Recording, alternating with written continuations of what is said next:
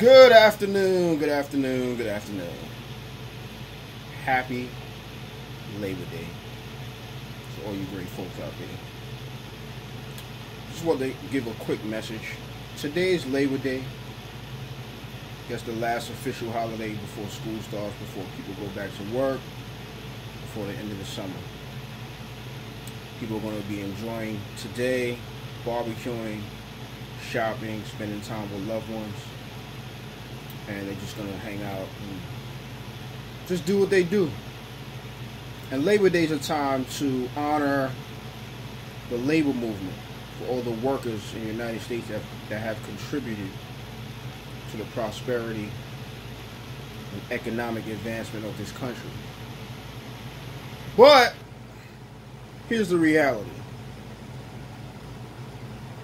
people are dreading, most people are dreading tomorrow morning. For every 10 individuals that you walk by, over 80%, I'm probably being generous, it might be 90. But let's just start off with 85%, 8 out of 10 people that you walk by every day either don't like or hate what they do for a living. So we have to keep that in perspective.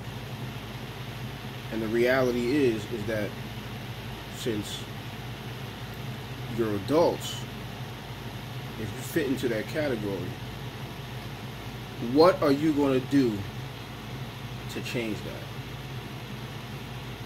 Eight out of every ten people that we walk by every day either don't like or hate what they do for a living. But the next step is what are you going to do to change that? Hmm. So let's keep that in perspective. Having a job is great. It's wonderful. I have a job where I enjoy what I do.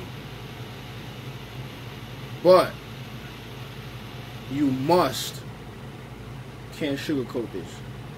You must it's a spiritual principle.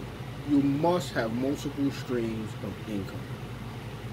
You must. Not maybe or mm-hmm. You must. You just don't know what's going to happen in life. You must have multiple streams of income. So before I sign off, think about that. Karatbars International is an opportunity to save gold one gram at a time. For more information, you can check out www.originalform.info. Real money, real currency, one gram at a time.